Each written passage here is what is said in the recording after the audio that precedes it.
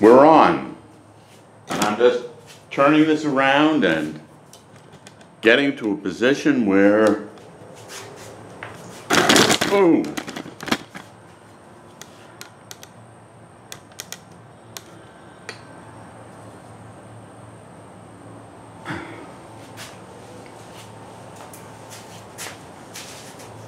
Hello, this is my God, Guns, and Guts shirt. And I think that anyone who tries to destroy and take away all guns is crazy and doesn't belong in politics. Okay. Today I'm going to talk about a friend who was in a car accident. In fact, she was in several car accidents. And during the, the process, she got screwed over by her own insurance company. And to make matters clear, the insurance company is a billion dollar company. It's Florida Farm Bureau Insurance Company. And they have a lawyer, Matthew Scarborough, who misrepresents things. But a lot of lawyers do that. They lie without any consequences because the judges don't have the guts to sanction them or report them to the bar. Okay, first let's get started and go through this. My name is Irwin Eisenstein. Although if you want to find me, you have to look under Ironstone. You can do it on YouTube, you can do it on academia.edu, or you can just do it on the internet, Irwin Ironstone. I'm not a lawyer because the Florida Bar said I do not have the character and fitness to be a lawyer. They were wrong. So I have to tell you, I'm not a lawyer, but I've helped lawyers, and I've assisted people who couldn't afford lawyers.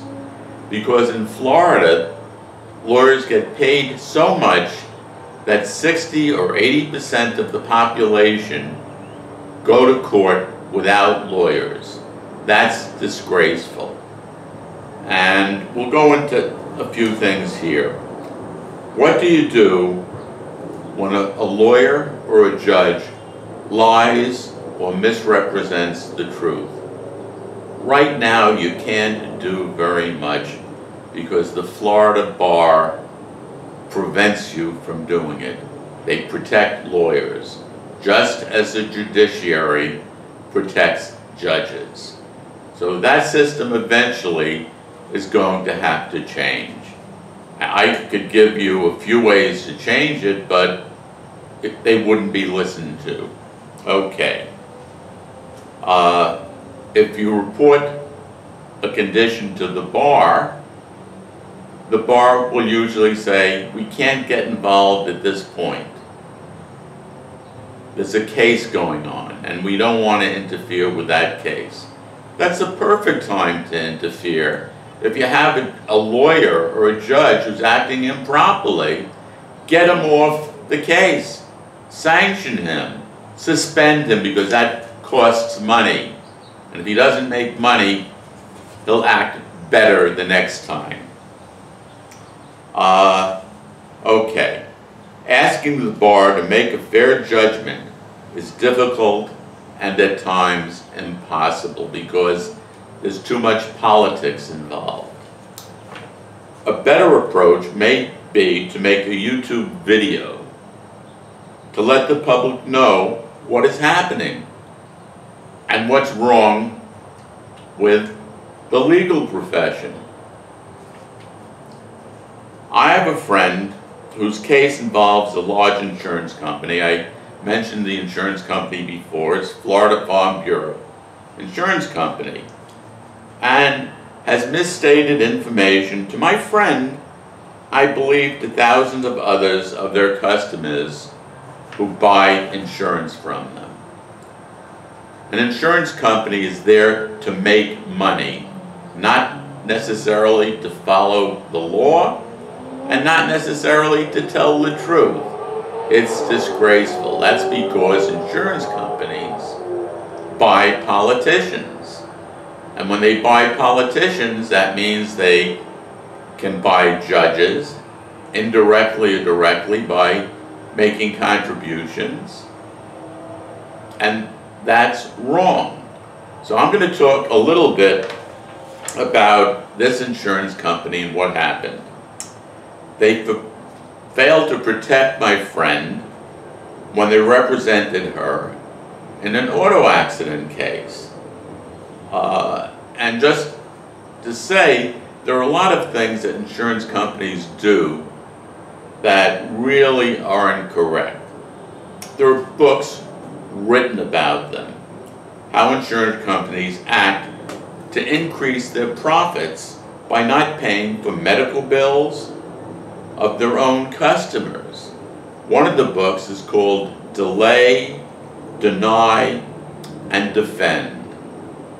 When you submit a claim to an insurance company, it makes sense for them to delay processing that claim. May effectively uh, say they lost it, but they don't process a claim in a timely way. That's one thing. Uh, because you uh, have put in the claim a second or a third time, they deny it. And they deny it because they said, well, it was filed late after they refused to accept it when it was filed properly. And the third way that they screw people around is they defend, they hire lawyers whose main purpose is to screw the insurance company's own clients so that the insurance company doesn't have to pay large claims. In this case, uh, my friend was in one accident. She was in a few accidents, but she was in one accident where the insurance company refused to keep her informed. They said they were going to subrogate her claim because the other party didn't have enough insurance to pay off her claim. She needed an operation, and she still needs an operation. But the insurance company, you know, and the other party evidently didn't have enough insurance. So it would have come out of something called uh, UM or UIM insurance, which is underinsured insurance or uninsured insurance. And she had that. But the insurance company didn't want to pay for an operation that might cost anywhere from eighty to $100,000. So they delayed and they delayed and they failed to tell her what was happening. They initially told her, don't contact the other side because we don't want you to interfere with our process of collecting or trying to collect money. There's a process called subrogation. What subrogation does is it says that you don't have money now, but we have the right to sue you and say that if you get money in the future, we can get that money to pay the claim that our client has because she needs an operation. But if you don't file that claim, subrogation claim, timely, you know, before a statute of limitations runs out, you're lost. You lose the opportunity, in most instances, to file that claim. There are exceptions, and maybe in a future time, we'll talk about that. So they failed to protect her when they represented her. And I mentioned the books Deny, Delay, and Defend because that's only one of the books.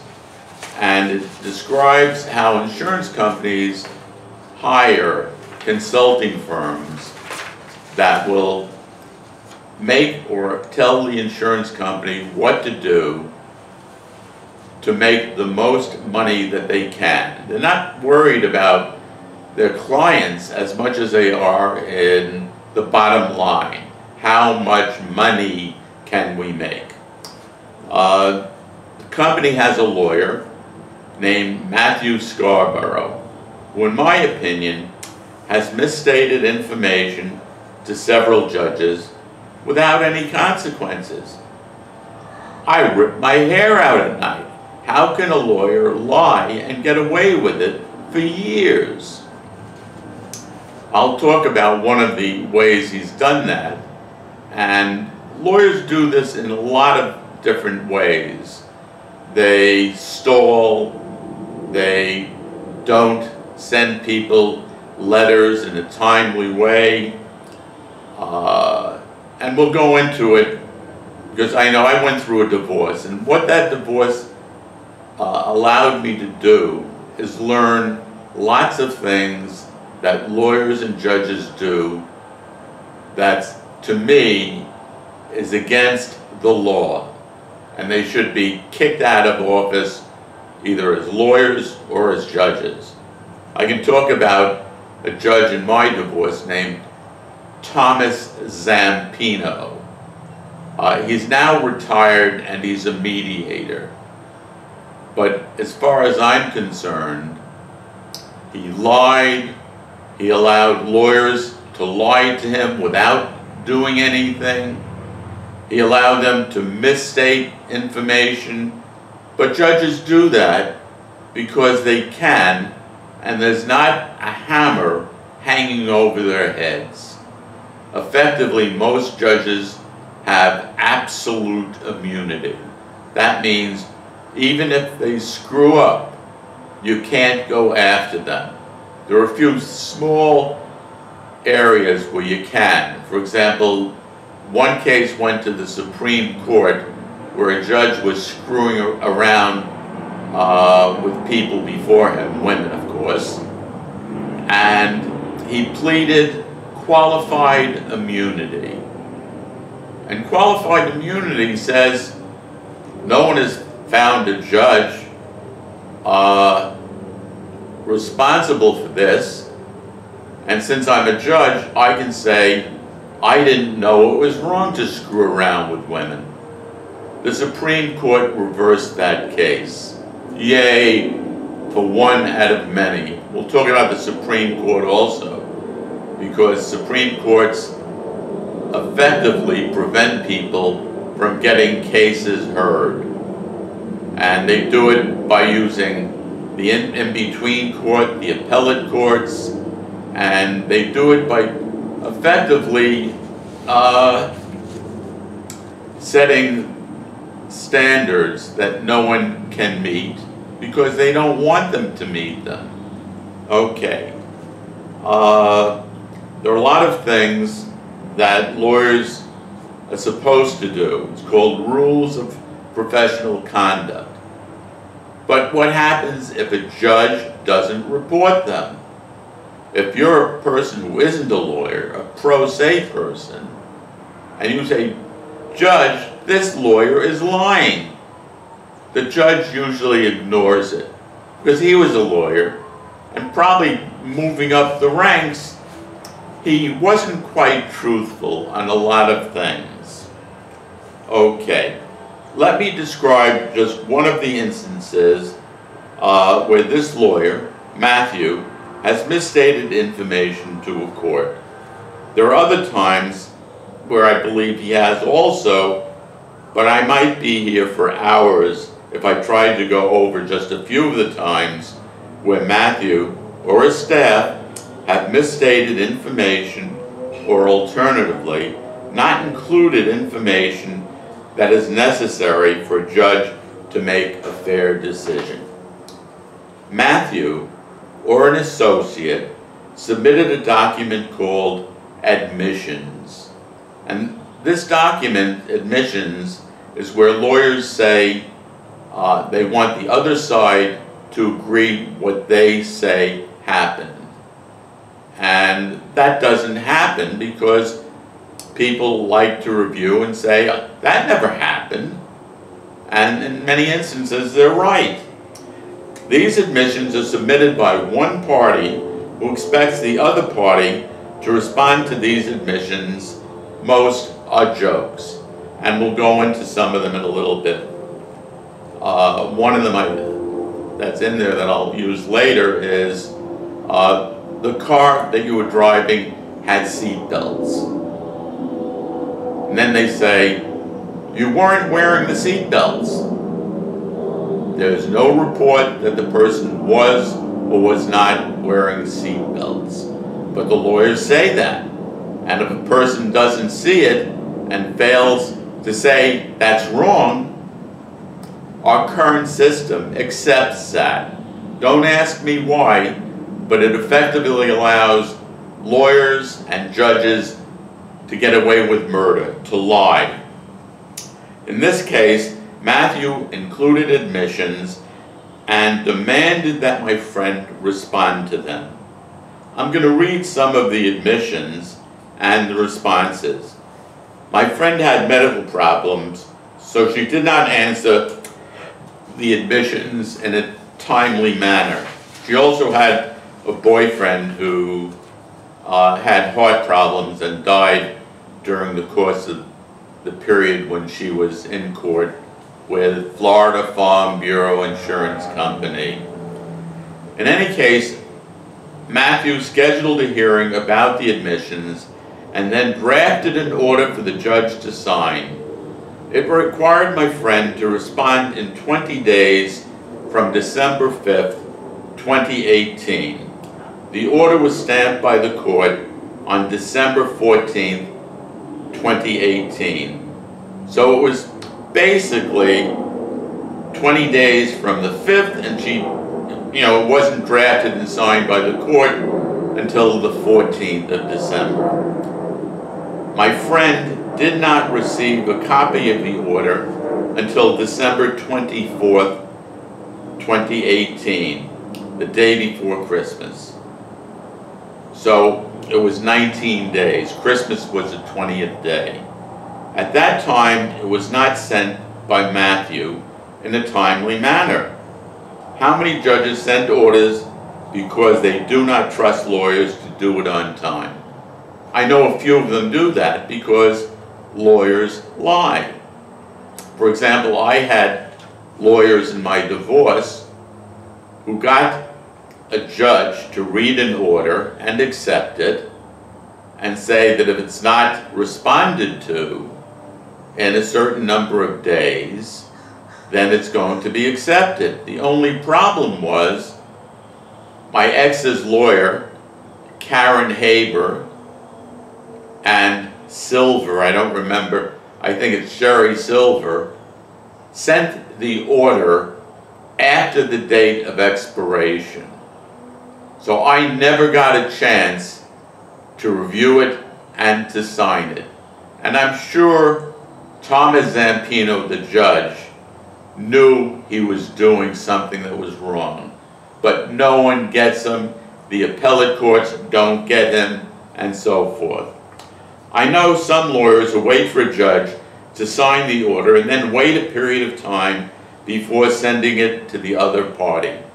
Currently in Florida, that's changing slowly because they're automating the system and many of the orders or proposed orders are sent automatically to all of the parties.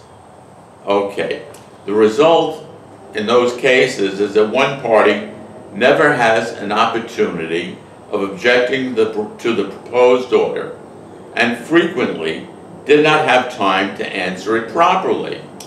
This must happen frequently since some judges do not sign proposed orders until a significant amount of time elapses. Other judges send out proposed orders to all parties prior to signing them. Judges do this because they were lawyers and they know that some of the people who were opposing them were lawyers and they lied. Okay. In any case, Most of the questions are not reasonable, the admissions. No person in their right mind would agree in admissions that are not reasonable. But judges don't say that because they have to be neutral. I think there are times when judges have to be other than neutral. If something is unreasonable, a judge should intervene, especially when a lawyer and a person who's not a lawyer are involved. Uh, of course, a friend, you know, my friend, uh, I was a third party, and I was never notified by the opposing lawyer, Matthew Scarborough, uh, about issues that were not resolved in Florida court. Currently, Matthew should know that my friend filed papers in opposition to the admissions because the new judge said, look at this. It was filed on the 26th, but that's timely because you get an extra day if the day before is a holiday. Uh, Matthew Scarborough sent I don't know how many motions in and papers saying that my friend never opposed them. Now what I'm going to do now is put this down and get some of the admissions and some of the responses to the admissions. And the first one is, and I'll read it and I'll go through them all. Defendants, that's Florida Farm Bureau Insurance, and the thing that's bad is they are defendants, and if their lawyers don't act appropriately, people should be aware that this insurance company screws their own clients. That's what it's about. Okay. Now, the first admission, and they give the rules that you have to file them by, plaintiff received benefits from a collateral source as defined by statute 1 or statute 2. Florida statute for medical bills alleged to have been incurred as a result of the incident described in the complaint. Okay, now people sometimes do get insurance from other sources. I get Medicare, but that doesn't mean that the insurance company should not pay uh, for medical care uh, when the insurance policy includes that. People shouldn't be included and basically shouldn't be paid twice, but they certainly should be paid once and it should be done timely so that they have an opportunity to go to the hospital and have any of their problems, the medical problems, due to an accident paid for by one of several insurance companies. Okay, now that was one, let me see if, okay. My friend is called a plaintiff, denies that medical, that medical bills were alleged. What that means is she had medical bills she went to doctors. She went to hospitals. They weren't alleged bills. Alleged says, and Scarborough says, she's making it up. She has a bill from a hospital and from a doctor. And he's saying they're alleged because he doesn't want his client, Florida Farm Bureau Insurance Company, to be responsible for paying the bills. Okay, that was one statement is not applicable as a plaintiff does not have medical bills that were alleged. These are real bills. Okay, the third item is plaintiff received benefits under the personal injury protection portion of an automobile policy for medical bills alleged to have been incurred as a result of the incident described in the complaint. That's a mouthful. Okay, and what, what it's really saying is Florida has something called PIP, and it's personal injury protection. And everyone is supposed to get insurance for ten thousand dollars uh, to pay for medical bills. And again, the, those bills are paid not for alleged damages, but because someone is hurt and a doctor has examined them. Sometimes they take x-rays, sometimes they take MRIs, but in any case, they're examined, so they're not alleged. What does my friend say to this? Plaintiff denies that medical bills were alleged. Those are real bills. The plaintiff may have received some benefits for the permanent injuries she received from the accident under the personal injury protection portion of an automobile insurance policy, but the defendant has failed to provide a detailed amount of any such payments uh, as requested. In other words, her insurance company or the other insurance company paid up to $10,000, but they never told her what they paid. And she's asking, how much have you paid? Okay, I'm on the fourth admission. Now realize if a party doesn't respond to these admissions, they're considered truthful, and in this case, the defendant can say, "Yeah, yeah, yeah, yeah, yeah." They didn't respond to the admissions, so we're going to use them against her. Okay, the fourth, basically, admission, plaintiff is entitled to receive benefits under the PIP, Personal Insurance Protection uh, portion of an automobile policy for medical bills alleged to have been sustained as a result of the incident described in the complaint. They're saying the harm that she suffered are alleged. I mean, if you broke a leg in an in an auto accident, and you go to the hospital, they say it's alleged. It didn't happen. Okay. And that was fourth. The statement is not applicable as the plaintiff, the person, my friend, does not have medical bills that were alleged. These are real bills. Okay. The fifth one says, plaintiff receives benefits under the medical payment provision of an automobile insurance policy for medical bills alleged, again throwing in the alleged, to have been incurred as a result of the incident described in the complaint. So they're saying that she, and you know, basically received uh, money, or the doctors and hospital bill did, based on uh, PIP, which is personal injury protection portion of her insurance. And my friend says, plaintiff denies, saying, I deny that medical bills were alleged. The plaintiff may have received, may have received benefits for the permanent injuries she received from this accident under the medical payment portion of automobile insurance policy, but the defendant has paid, failed to provide a detailed accounting of any such payments as proposed. Discovery is still ongoing. In other words, you have to write to them. Can you tell me who you paid to?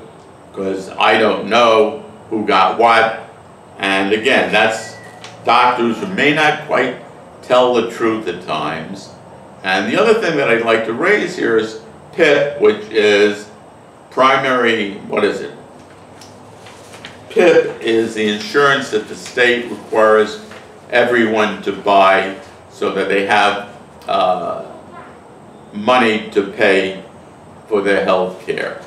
Problem with PIP, at least one of them is, it probably hasn't been updated in 15 to 20 years. So when you try to get money to pay for medical care, it's not enough. So one of the things, I'll throw this at the legislature in Florida, and probably in many other states, they should update their insurance required so that people are covered when there are accidents. Okay. Six, plaintiff is entitled to receive benefits under the medical payment provision of an auto insurance policy for bills alleged to have been incurred as a result of the incident described in the complaint. And they're saying she's entitled to get money. And the statement is not applicable as the plaintiff does not have medical bills that were alleged. If you don't say that they're not alleged, then the insurance company say, you can't force us to pay. We haven't seen any of the medical problems. They're, they're alleged, they're made up. Okay, number seven, plaintiff is subject to a deductible under the personal injury protection portion of an automobile insurance policy. And the plaintiff, my friend says, the plaintiff cannot agree at this time and will rely upon the facts still being discovered through different uh, means in a trial or in a court case. Interrogatories, you ask the other side to answer uh, questions, depositions where the other side or you get a chance to ask them questions and have it uh, stenographed and video recorded, and other discovery as to the details of the policy in effect at the time of the accident. Because not only your policy, it's the other policy and the other person's insurance policy. Plaintiff received benefits according to personal or group health insurance policy for medical bills alleged to have been incurred as a result of the incident described. Okay, what does that mean? Uh, that means that the two health insurance, if you have private insurance and then you have auto insurance, the auto insurance is trying to get the private insurance to pay saying there weren't any problems. These, any uh, things that happened during the accident were alleged. They didn't really happen. Okay, number nine, let's see, the eight denies that any medical bills were alleged. Uh, my friend is not a doctor. Any of the bills that were written up to any of the insurance companies were done by hospitals or doctors. So you have to wonder whether the doctors and hospitals are telling the truth. Again, that's another area that really needs investigation. Uh, number nine, from the admissions from the defendant. Plaintiff is entitled to receive benefits according to a personal group health insurance policy for medical bills alleged to have been incurred as a result of the incident. Now, if uh, you have two insurance companies, the lawyer's representing the auto insurance, and he doesn't want to pay uh, a single, you know, wooden nickel if he can get another insurance company to pay it. Uh, the statement is not applicable as the plaintiff does not have medical bills that were alleged. Again, so you have the plaintiff and you have two insurance companies now. Now, the next one, which is 10, plaintiff at the time and place of the incident described in the complaint had available a functional and operational seat belt or shoulder harness restraint system. So their lawyer, Scarborough, or one of his associates, is saying her car has a seatbelt or a shoulder harness. And my friend says, yeah, it does. I agree. It's functional and it's operational. The 11th question on the admissions, plaintiff at the time and place of the incident described, which, which is the accident, was not using the available functional and operational seatbelt harness restraint system. Now, what the lawyer is saying, she wasn't using the seatbelt. I know this person. She always uses a seatbelt. And what does the uh, plaintiff say? Plaintiff denies and using the available functional and operational seatbelt. She's saying to them, where did you get that information from? I was there. I was wearing the seatbelt. How can you lie like that to a court? And if she didn't respond to them, their lawyer would use that against her in a trial. He would go to the jury and said, here are the admissions. You see, I said she wasn't wearing a seatbelt, and she didn't deny it. So if you don't deny it, it's assumed to be true. Now, something like that has to change. The courts have to change. And the judges have to recognize that lawyers lie very frequently. And they don't, and that's a problem. Okay. Now, the 11th admission they say, my friend at the time and place of the incident described was not using the available functional and operational seatbelt. So they're saying she wasn't using the seatbelt. And my friend says, I deny that. And she said, I was using it. Uh, now, the it's almost like two parties saying, uh, you didn't use the seatbelt. And my friend says, I was hooked into the seatbelt. If I weren't, my injuries would have been worse. Next, they say, and this is what every person says, the person in the other side was at fault for the subject motor vehicle accident. They're saying, you didn't do something properly. It's your fault that the accident occurred. And my friend says, you've got to be crazy. I deny that. And anyone would. And if they didn't deny it, the judge should look at them and say, are you crazy? But that never happens because judges have to be impartial. Okay. The 13th is plaintiff did not suffer a permanent injury as a result of the subject motor vehicle accident. Now, here you have a, a time when lawyers are acting like doctors. They're saying she didn't have a permanent injury. That's something that really should be based on hospital reports, x-rays, MRIs, and doctor's reports. So what did my friend say to that? She denies she did, did not suffer a permanent injury. In other words, she's saying, I have an injury that was based on, you know, that very accident. Okay, now we have a few left and I'll have a, a nice time with these.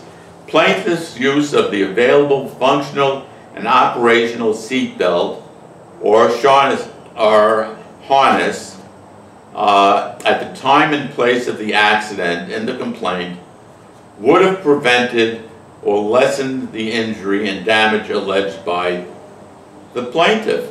And let's see what my friend says. She says, the statement is not applicable as a seatbelt and the shoulder harness restraint, restraint system was used and if she didn't use it, the accident would have caused additional damage. Now, these two next admissions are addressed to me. So I have to read them and laugh. It says, and you realize They were never given to me because I was not a party to this case. In other words, the lawyer put this in and said, Irwin Eisen, I'll read both of them together. Irwin Eisenstein created the complaint in this case. What he's saying there is, I wrote what happened, uh, how one car hit another car uh, from behind, and I'm not sure about what else is in the complaint. I didn't write it, but here he's saying I did write it. And I never got this, so what can happen, I'll explain what did happen. And then the next and the last one says, Irwin Eisenstein has created the motions and memorandums filed by uh, you in this case. It's saying that I wrote all of the papers for my friend. Now, was I ever told that I wrote the papers? No. The admissions never went to me. So effectively, they're blaming me for something, and they're not telling me they're blaming me. Now, obviously, that's a lie. Uh, and my friend says, he, you know, the plaintiff, she denies that I created the complaint in this case. She also denies that I created the motions and any of the papers refuting things in this complaint. But I never got them. And I have to be very careful here because you see, once they accuse you of creating a complaint, of filing motions, they can accuse you of unauthorized practice of law, and that's criminal in Florida.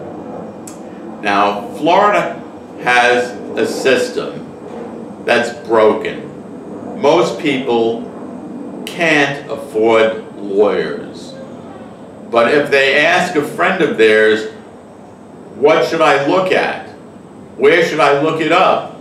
And the friend says, I'm not sure. Why don't you look up Florida law to see what Florida law says? That's the unauthorized practice of law according to Scarborough. And he reported me first to the judge, and then the judge, which is, who is retiring judge, his name is uh, John Marshall Kest. I think he was about 70 or 71, and I think he was a little senile. And he, he listened to Scarborough and said, report it to the bar. Say it was unauthorized practice of law. And Scarborough then must have told him, what about the Attorney General? And said, do that too. So these two are having, I'm not there. I have no idea what they're talking about. But they're reporting it. Now, I have lots of problems because I'm not a lawyer. No one that I talk to says I'm a lawyer. They say I read a lot.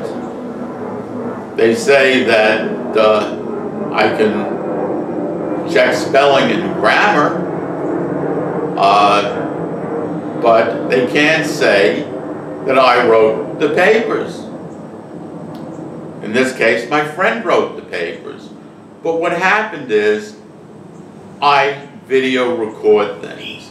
And this lawyer Scarborough didn't want anyone around because he wasn't acting appropriately during the time when he took a deposition of my friend. The deposition is where he talks to her and says, uh, excuse me, isn't it true that you hit your brake and that's why you got hit in, in the back?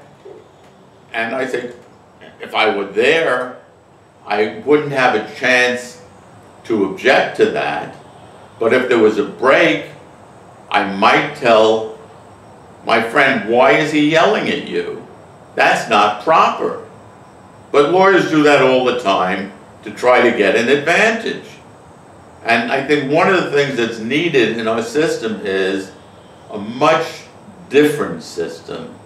And I'll go to a Supreme Court case that talks about that. The case is Johnson versus Avery. And it's a case about one prisoner helping another prisoner. And because he helped, I think, I'm not sure which is Johnson, which is Avery, uh, but I think Avery was a prisoner. He was in jail for life sentences. And I guess he must have helped people in jail because no one else is around to help them. And the Supreme Court, I think it was uh, Abe Fortas, said, you know, the state, the prison, acted inappropriately uh, by locking up the prisoner and holding him in a cell where he uh, was separated. He didn't do anything wrong. The state has a duty to help the ignorant and uneducated in criminal matters. Sometimes it said the state has a duty in civil matters to help someone who doesn't have a lawyer. Now the question is, can someone who is not a lawyer, who's educated, help? I don't know. It depends. It depends on the situation. It depends on the person who's helping. I have a law degree. I have a law degree from an accredited ABA, American Bar Association uh, Law School. And I passed the Florida Bar, and I passed the New York Bar. I was a little contentious going through my divorce, and I sued four or five judges because I believed they acted inappropriately. That was before I went to law school. But I guess those two bars, the Florida bar said, we don't want him in our bar because if a lawyer screws up, he may report him and help the person sue that lawyer. In the other instance, New York said the same thing.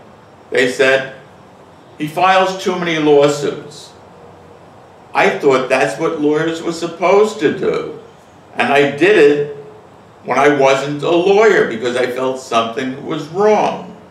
And I'll go into some of the things that are wrong with our current system or current systems. I think that insurance companies pay off politicians, lawyers pay off politicians and judges. And sometimes those lawyers get to handle estate cases, that's where a person dies and there's money left. And those lawyers get paid nicely. And if they hadn't paid off this judge, they probably wouldn't have gotten that case and wouldn't got paid off. In any case, I think, and if you take a look at the, the concurring opinion, one of the other justices agreed with Justice Abe Fortas, and his name was uh, William Douglas. And William Douglas says, hey guys, you know, lawyers can't do everything. They have law clerks, they have typists, they have researchers, and you can't say that these people shouldn't be available to help lawyers, and in some instances, people who can't afford lawyers. I know it, it happens in other parts of the country. So the question is, and in some instances, I think there's one case where uh, the Supreme Court has questioned whether it's proper for the bars or a particular uh, association to be governed by people who do business in that area. I think it's North Carolina uh, Dental cleaners. And I went to the US Supreme Court. Right now, for example, and I hate to say this, but I buy software programs. And some of those software programs deal with law. And they have a whole bunch of forms that they print out based upon information that you put in those forms. For example, one of them might be a power of attorney. I won't even explain that, but it's a legal form. If you go to a lawyer to fill out a power of attorney, they can charge you 50 to $300. The software package is $50. So if someone asks me, you know, what do you do uh, with a power of attorney? I say, you have lots of choices. You can go online. What is it? LegalZoom, which is a software company that allows you to fill in forms and to print them out. And there are other, you know, I have one called My Attorney, and it gives about 20 different forms, or maybe more than that, that uh, you can use to fill in information and to print it out. So instead of paying, you know, 200, 300, 400 dollars, you buy the package for 50 or 100 dollars and you can use it over and over and over again. And I think there are other cases that the Supreme Court has heard where it's defined when groups can gather together uh, to hire lawyers to assist members of the group. One might be uh,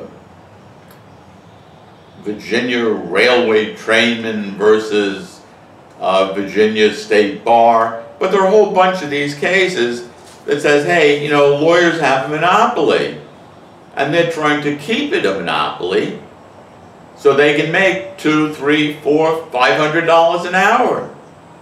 That doesn't make sense. Okay, I'm going to uh, finish up now. I went over the admissions, and I went over, oh, by the way, uh, Mrs. Scarborough finally uh, agreed that he screwed up. But it was after a new judge heard my friend's case and saw the papers where she put in the response to the admissions uh, on time. But in the meantime, through two judges, he was yelling and screaming and putting in papers saying she hasn't done this and she hasn't done that. I give her a lot of credit for all of the work that she's done independently. And I think it's a shame that the bar doesn't help people with problems uh, where they can't afford attorneys.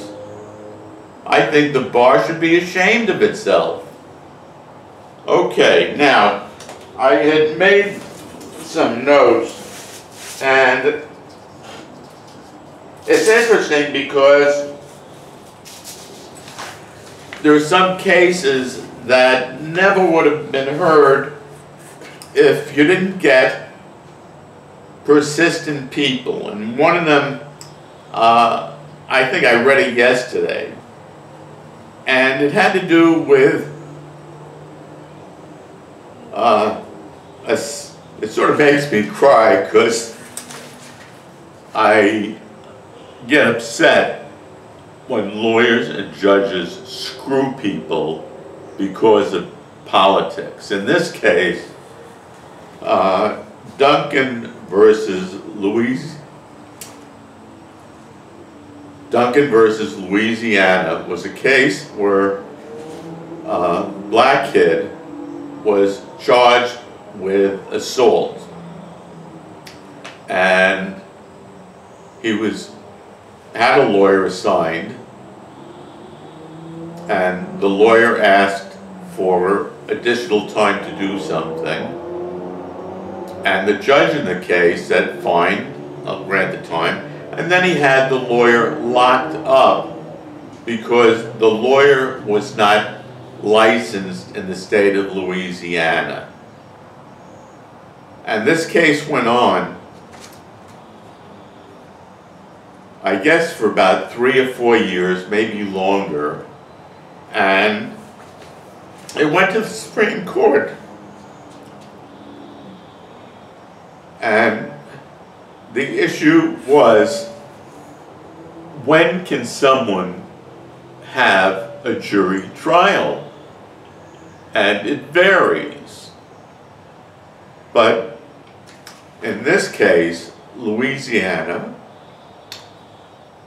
uh, didn't have a jury trial if someone was locked up for a simple assault and an alleged simple assault because it didn't happen.